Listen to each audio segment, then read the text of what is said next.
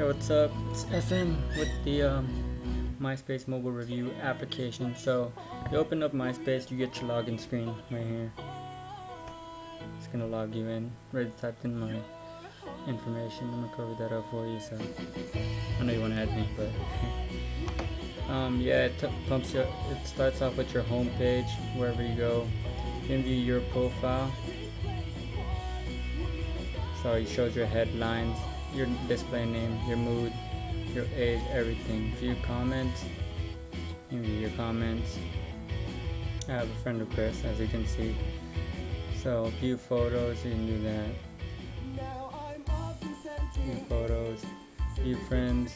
Um, I'm gonna explain every single one of these menus in just a bit, but I'm just showing you what you can view when you go to someone's profile. You're, you're viewing your own profile right now, but pretty much if you click on somebody else, it's gonna be the same thing. You're about me. Alright, um, let's start with the home page. So you can view that, you can view comments, you can you can view the bulletins. This is just the home page, the home menu. Okay, so let's go to mail. Um, the mail is pretty organized by you can compose, you check your inbox, send messages, save messages in your trash. Shows your recent 25 messages and you can keep doing next 25 alright. Now on the sent messages it shows your sent messages but unlike on the when you go to your actual browser it tells you if it, they sent if it's sent read or replied back. It doesn't show you that. That's one negative. Um here's the friend request. So Michael is requesting to add me. Um I don't know who Michael is but I'll ignore that. So yeah that's your friend request. Let's go back there I got one user one request I can accept I can deny I can block or I can message him to ask who the hell he is. Um, this is your friends. Once you click on friends it first stops starts with your top goes to your all online new and birthday. Shows you top how many top you have. Um, go to all your friends. It shows them by the 20 every 25 friends I believe again.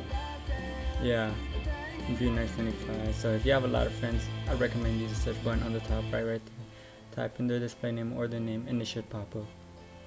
So alright. Checks your online friends. Forgot to mention that on the right side of the friends you can message or comment them just like you can do on the browser on your regular browser also. So new. And shows you new friends. Birthdays Go. Now the birthdays, I think they have a little bug. I mean, it's telling me people's birthday on January 1st. Um, that's not coming up at all. So yeah. Photos, photos, photos. Uh, I wanted to point out that it's there's a little add photo option right here.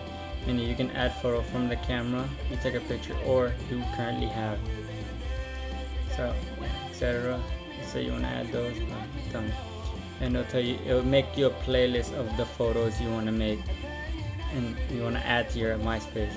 Right, just hit upload and it'll upload it. Once you're done, it'll upload to my photos album.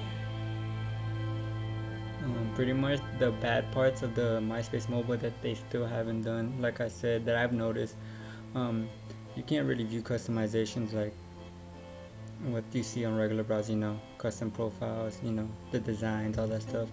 Um, you can't stream their music. Uh, I would really love it if you can view band profiles or even like view your friend's song that they have on there. So yeah, and for the people that doesn't like to show their friends or show their comments, that's another bad part. But that's about it for your MySpace application mobile. Thank you.